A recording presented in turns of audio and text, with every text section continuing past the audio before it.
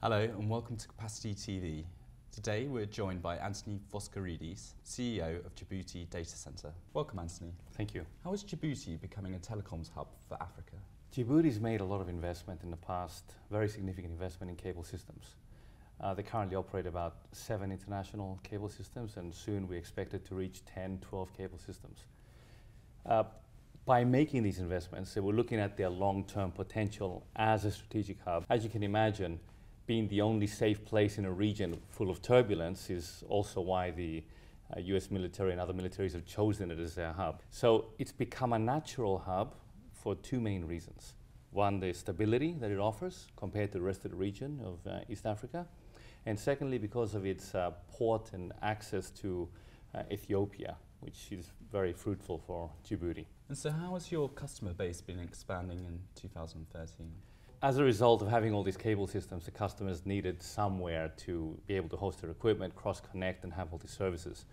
Djibouti Telecom was able to offer some of these services, but by having the data center there, the customers found a, a very natural place to host their equipment. As a result, we've seen enormous growth, and I can tell you already that in the last uh, few months, since we've been operational, we've had major companies such as MTN, Telkom South Africa, Du, uh, and others, uh, including BICS, enter the data center, and a whole group of new customers are joining us very soon, but are obviously under confidentiality agreements. What have been some of the challenges of establishing a data center in Djibouti? It is challenging. It's a new service. It, you have to meet new standards and criteria. What we really wanted to do was to be able to offer a very high level of service there. And of course, this means cost. So the cost has been quite high to establish a data center, as you can imagine, having the right materials, being able to bring it up to a tier three level, having all the right redundancy. Together with our partners, Djibouti Telecom, I think we've done a great job and we already have an excellent reputation for uh, being able to deliver circuits and cross connects uh, on behalf of the customer within 24 hours. So We've got a whole group of new customers come in. We've serviced them very well, and we're seeing enormous growth for 2013 so far. And what markets in Af Africa are next on your radar? The whole region there is changing uh, rapidly. Uh, I would say that um, the stabilization of Somalia, the changes in Sudan, now you have South Sudan, uh, Ethiopian markets, this, these are huge huge opportunities for us and we're positioned in the right place. So we're looking at expanding the data centers into these uh, particular countries. Uh, we have very distinct advantages with direct cables that are linking Djibouti to these particular countries and the expansion of the cables. So we see that this region is our immediate expansion. Uh, we've kind of taken the first step already with a new internet exchange, which is going to be active uh, right now.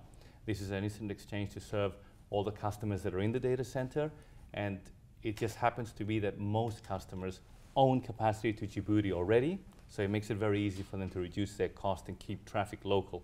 So we're finding that Djibouti is a natural stepping stone to the next regional countries. I see. So will terrestrial connectivity be important moving forward? Yes, it's extremely important. Uh, there is terrestrial fiber connectivity already from Djibouti to the neighboring countries that I mentioned before.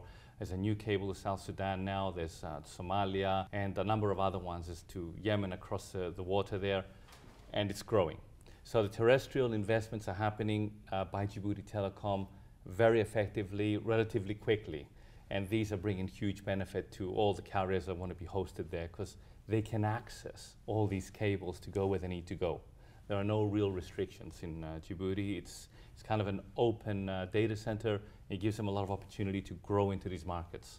Finally, how do you see the African data center market evolving over the coming years? It's growing rapidly in Africa as it is in other places of the world. What is unique about Africa is that the penetration currently of internet is lower than you know Asia, Europe, uh, Middle East, and this obviously means opportunity.